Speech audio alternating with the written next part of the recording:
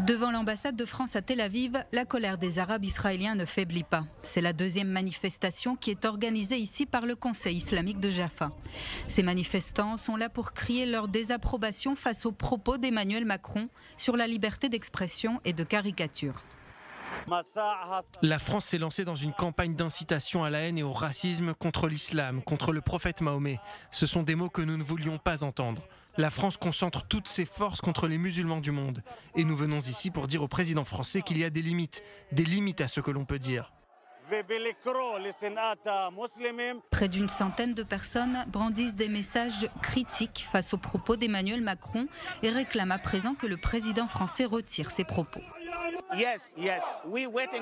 Oui, nous attendons que le président français présente des excuses, car nous ne voulons pas de massacre, nous ne voulons pas que des personnes soient tuées, que ce soit des musulmans ou des Français.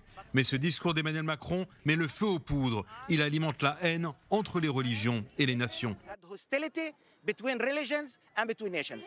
Ce mardi déjà, le grand moufti lui-même s'était déplacé pour remettre en main propre une lettre à l'ambassadeur de France, Éric Danon. Il a notamment exigé des excuses du président français pour ses propos offensants.